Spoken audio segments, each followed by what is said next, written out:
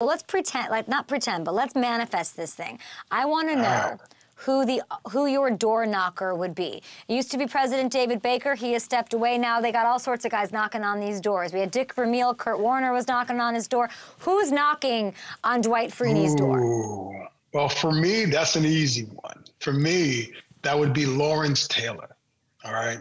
If I had it my way, I grew up a big huge LT fan. I was a Giants fan growing up. It was Giants or nobody.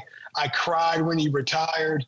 You know, I ended up playing a couple golf wow. rounds with him. He he calls me a hack every time he sees me because how bad my golf round was with him, and I'm still looking for that rematch. So let's go, LT, whenever you're ready. Um, but I think he's the guy out of everybody. I mean, I grew up, you know, idolizing the guy.